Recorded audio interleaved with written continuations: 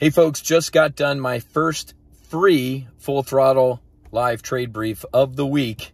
If you haven't registered yet, make sure you head to go.topgunoptions.com slash FT.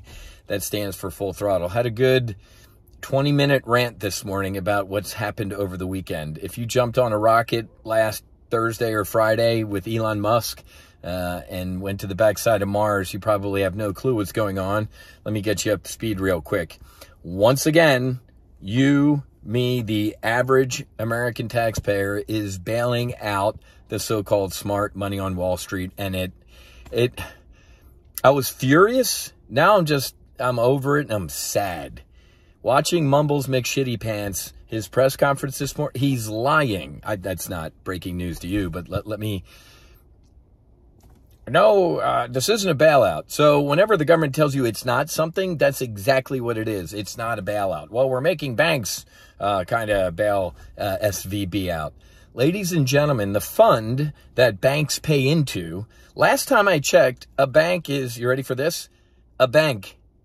A bank's not a charity. A charity's a charity, a bank's a bank.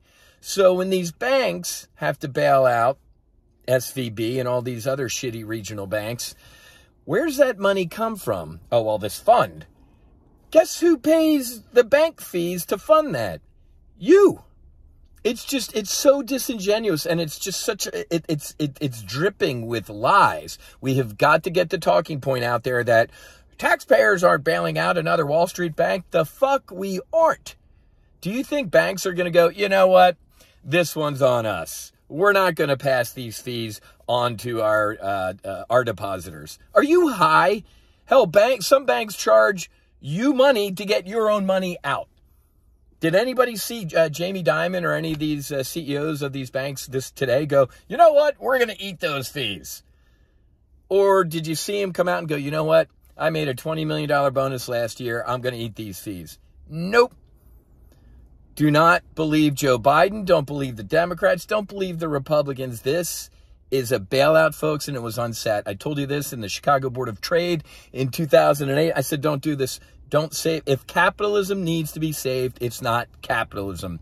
Things need to be able to fail, period. Or it's it, it it's Christianity, uh, you know, without hell.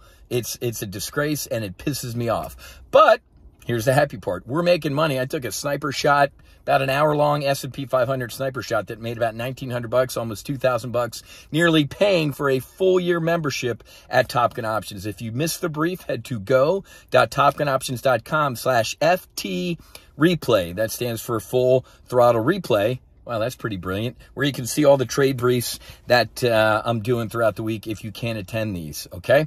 Make sure you sign up because the shit show hasn't even, it, it's just getting started. I think we got a, a lot lower to go, and I'm absolutely furious. Here we are spending billions and billions and billions of dollars bailing out idiots who made bad financial decisions while I'm sitting here, I'm, I'm, I'm in my suit so I can go meet with a potential donor here in Boca to try, I'm scrounging up money, trying to scrounge up money for a healing retreat in Costa Rica coming out uh, up in May.